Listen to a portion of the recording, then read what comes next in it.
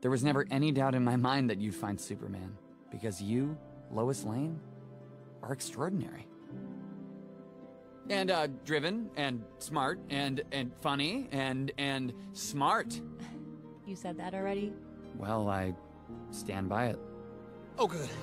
You're both here. You have to see this.